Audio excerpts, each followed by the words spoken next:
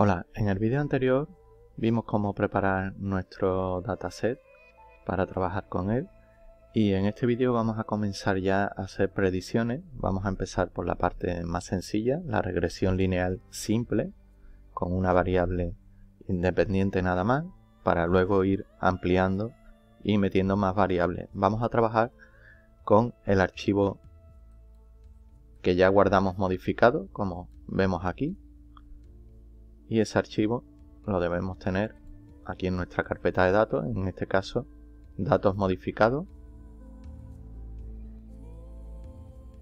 que tengo aquí, que es el archivo ya modificado del vídeo anterior.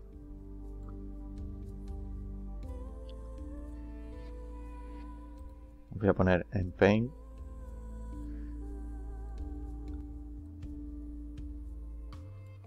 una pequeña gráfica para ver qué es lo que vamos a hacer.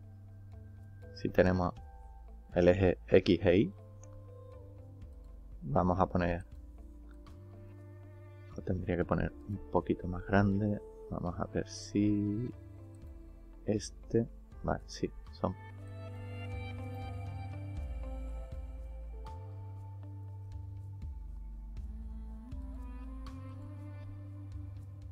selecciono otro pincel y le cambio el tamaño. Ahora sí vamos a poner una serie de puntos. Imaginemos que nuestra gráfica nos da más o menos estos puntos.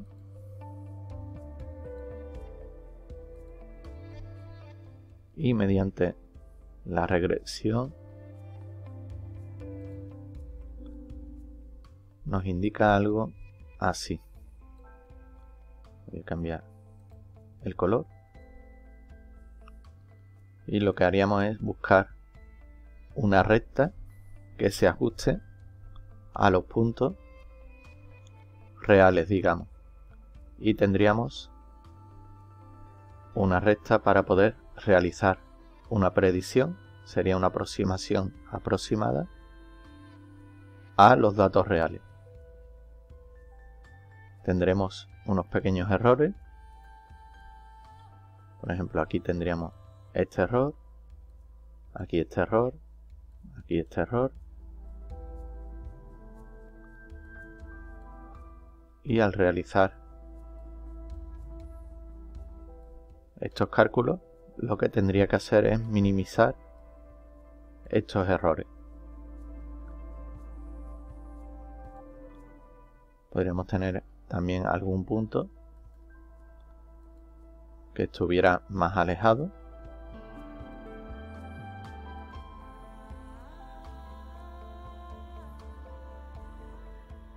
y tendríamos que intentar ajustar la recta lo máximo posible. Pues esto es lo que vamos a ver en el vídeo de hoy. Pasamos al código, creamos un archivo nuevo le damos un nombre.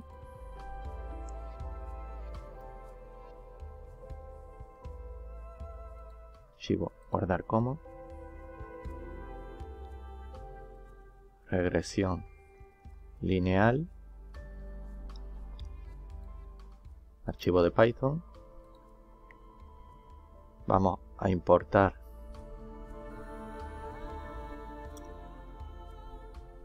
Nuestro módulo datos as md, el alias que le ponemos, lo primero que vamos a hacer es cargar nuestro dataset modificado. Voy a coger aquí la ruta y ahora cambiamos el nombre del fichero. Control C, Control V. Aquí el separador es coma si lo omitimos no pasa nada, porque por omisión va a tomar la coma. Y el nombre tenemos que poner datos modificados. Cambio esto y pongo datos modificados. Vamos a ver qué tenemos en datos. Print datos.head. Ejecuto Y aquí tenemos nuestro dataset. Nos ha cogido otra vez el índice. Como otra columna vamos a cambiarlo. Cambiamos aquí el índice y le decimos que lo grabe en datos. Ejecuto otra vez. Y ya tenemos aquí índice y el resto de columna. Perfecto. Pues vamos a comenzar.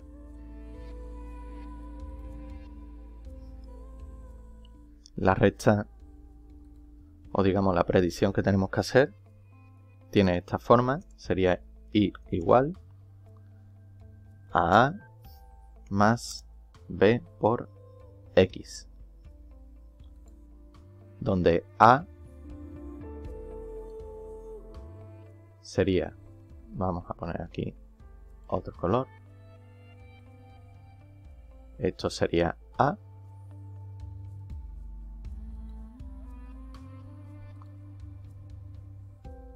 Aquí tenemos el eje Y. Y aquí tenemos el eje X. Y la B sería otro parámetro que digamos le da más importancia a la variable. O es el incremento de la variable x.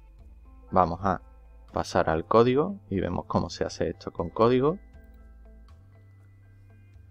Para empezar importamos otra librería. Lo voy a poner aquí abajo.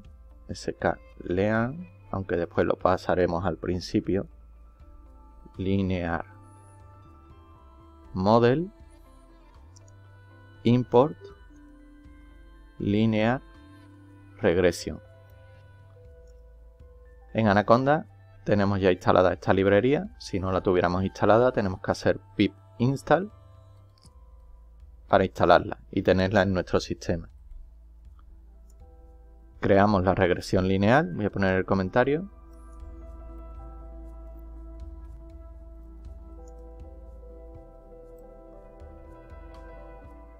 Linear. Model va a ser igual lm linear regression ahora definimos las variables predictoras.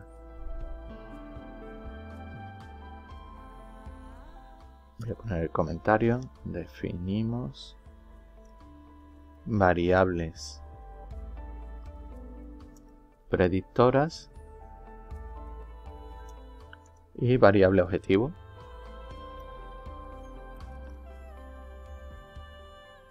O target. Ponemos x es igual a datos. Pongo doble corchete por si ponemos más de una variable. En este caso vamos a empezar con una nada más. Vamos a hacerla simple y después le añadiremos más variables y la i será igual a precio. Empezado por motor, vimos en el vídeo anterior, en la gráfica, que a mayor motor, mayor precio. Tenía una relación creciente. Entonces vamos a ver estas dos variables. Vamos a mirar qué contiene cada variable. Print x print. Voy a poner asterisco varias veces. Vamos a poner 100. Y voy a poner un print y.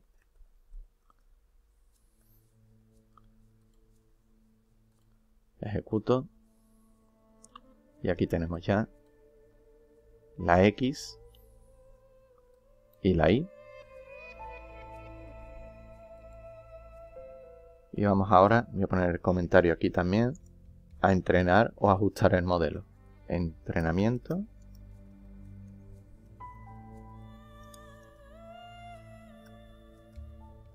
O ajuste. LM, que es lo que hicimos aquí, hicimos la llamada a línea, regresión, regresión lineal.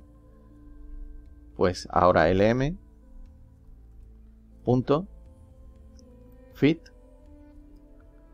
le pasamos la y, la x y la y. Ahora vamos a ver que deberíamos pasar parte de esos datos, entrenamiento y test. Ahora veremos cómo, cómo hacerlo y cómo separarlo, pero en principio lo vamos a hacer así, vemos el resultado y después lo cambiamos. Vamos a poner aquí ahora la predicción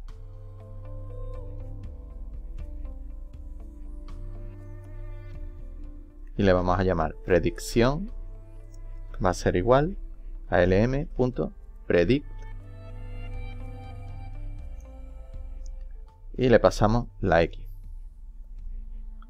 Estamos entrenando y realizando la predicción con los mismos datos. Esto ahora vamos a ver que debemos separarlo para que el modelo se ajuste y funcione mejor. De todas formas como Estamos empezando, vamos a hacerlo así y ahora vemos en la separación.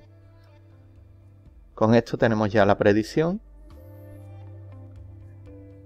y el parámetro A, como vimos aquí en el dibujo, teníamos i igual a x más b, más b por x, perdón, pues el parámetro A lo sacamos de lm.intercept y el parámetro b lo sacamos de lm.coef. Vamos a mostrar la regresión lineal, la ecuación. Mostramos ecuación. Y esto sería igual print. Y vamos a poner aquí un fstring poniéndole y es igual ponemos aquí entre llaves a para que nos dé su valor más b por x. La x y la y no estamos poniendo ningún valor las únicas que estamos sustituyendo es el parámetro a y el parámetro b que obtenemos de aquí voy a poner una separación. La voy a poner aquí también abajo. Pongo aquí la separación. Y ahora vamos a poner aquí print. Predicción. Y ponemos aquí print. Predicción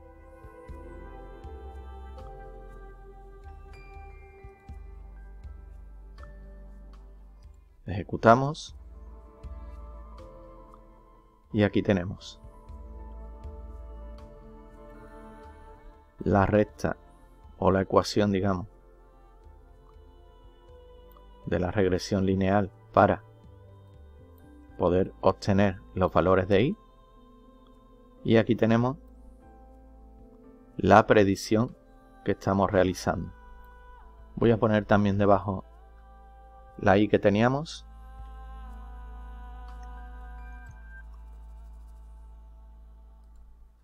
Y así vemos qué tal están los valores. Aquí, por ejemplo, nos indica 1836 y aquí 1750. Aquí 8997, 12500. Hay una serie de errores. Tengamos en cuenta que estamos trabajando solo con una variable y es simple, depende de lo relacionadas que estén, pues el modelo se nos ajustará mejor o peor.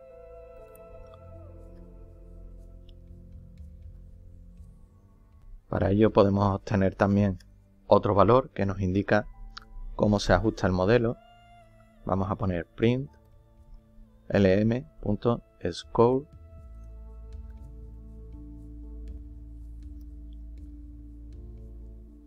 y ponemos x, y.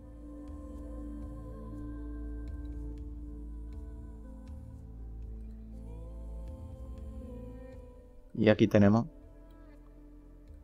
el valor 0,43 sería aproximadamente un 43% de la variable que es explicada por el modelo. estaría más o menos a mitad. Lo suyo es que esté lo más próximo a 1. Vamos a hacer una visualización. Pongo aquí visualización. Para la visualización vamos a importar Seaborn. Es una librería basada en Matplotlib. SNS es el alias que le ponemos y vamos a hacer sns.regplot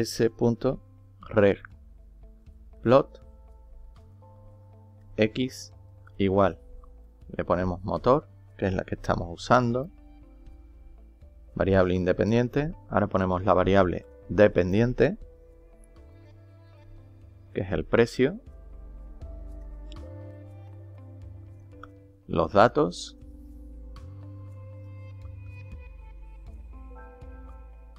Ejecutamos. Y aquí tenemos nuestros puntos. Como indicamos aquí en el esquemita que hice al principio tenemos una serie de puntos que son los de modelos, son los puntos reales y la recta que hemos trazado para intentar predecir con la variable motor el precio que debería costar el vehículo. Como vemos tenemos algunos puntos que salen fuera. Esto tendríamos que arreglarlo poniendo más variables para que el modelo se ajuste mejor usando todos los datos disponibles. Ahora mismo, como hemos indicado, estamos con la línea de regresión simple. Por eso hemos usado una variable para entender cómo funciona y ya iremos avanzando y mejorando este modelo. Pues bien, ya tenemos la gráfica donde podemos visualizar perfectamente lo que acabamos de hacer y vamos a visualizar los residuos, digamos los fallos que tenemos. Voy a poner aquí visualizar residuales que la predicción, voy a poner aquí predicción menos error. Para ello usamos Sibon sns.recitplot. Le pasamos datos, motor, coma, datos, precio.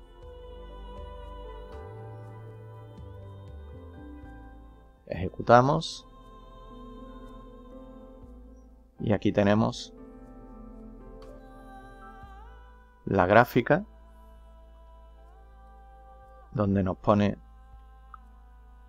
el 0 la línea en el 0 si más o menos la media es próxima a 0 el resultado es bueno. Como vimos antes, el resultado no es demasiado malo, excepto en algunas partes donde si se nos va un, un poco los puntos, habría que ajustar mejor el modelo. Ahora vamos a ver cómo separar los datos en entrenamiento y test.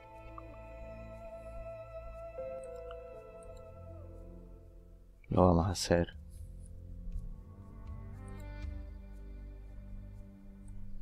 Voy a copiar todo esto para hacer otro ya con la separación. Pongo aquí el comentario separando en entrenamiento y pruebas. Aumento un poco el tamaño y voy a copiar todo pero le vamos a hacer ese pequeño cambio. Tenemos aquí X e Y. Pongo aquí. Separamos en entrenamiento y prueba. Para ello, de la librería sklearn model selection import train test split train guion bajo test guion bajo split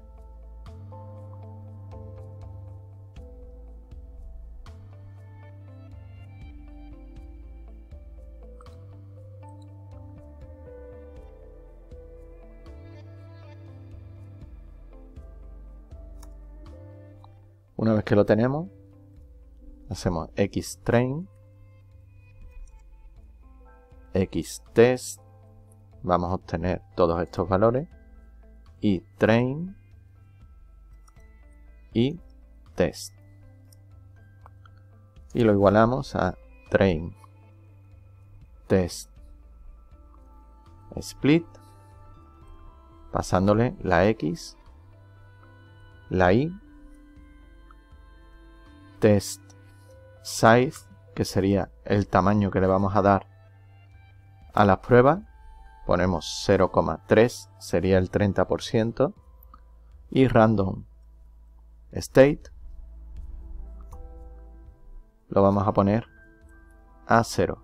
Esto es para que cada vez que hagamos nosotros los cálculos nos salgan igual podemos ponerle cualquier valor para que siempre nos coja los mismos datos, digamos, para que nos salga el resultado igual. Si queremos variarlo, podemos cambiar aquí. Pues ya tenemos xtrain, xtest, train y test. Y ahora esto lo tenemos que sustituir en esta parte que realizamos antes. Vamos a poner aquí primero por ejemplo, para que nos muestre la X-Train y la Y-Train. Para el modelo vamos a hacerlo aquí con X-Train y la Y-Train. Y para la predicción vamos a usar X-Test.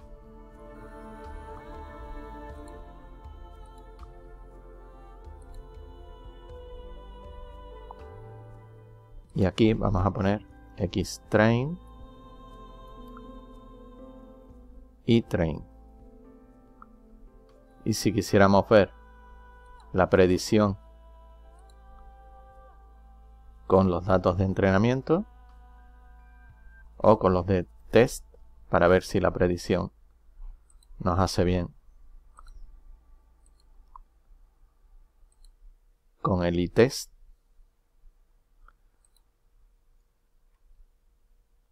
Vamos a ejecutarlo. Y vamos a ver la diferencia.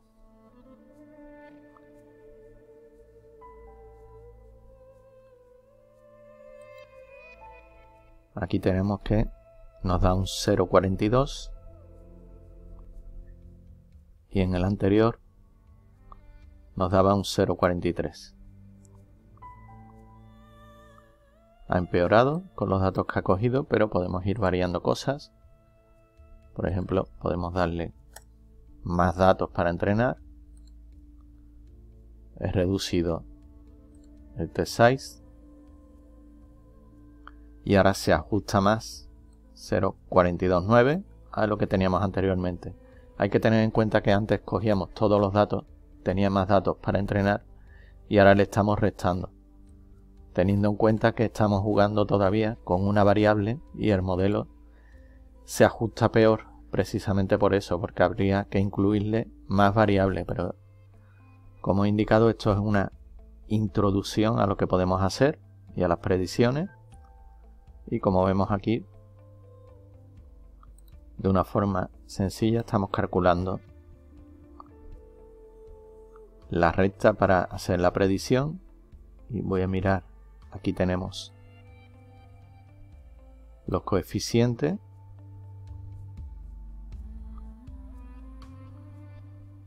Y voy a ver lo que teníamos antes, 10.400 y 12,26. y aquí tenemos 10.697 y 12,43.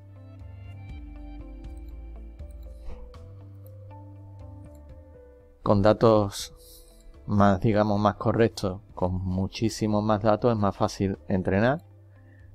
Y como digo, usando más variables. Pero estamos viendo cómo nos ajusta aquí la recta a los puntos que tenemos de nuestro dataset. Pues hasta aquí el vídeo de hoy, espero sea útil. No olvidéis compartir y espero veros en el próximo vídeo. Muchas gracias.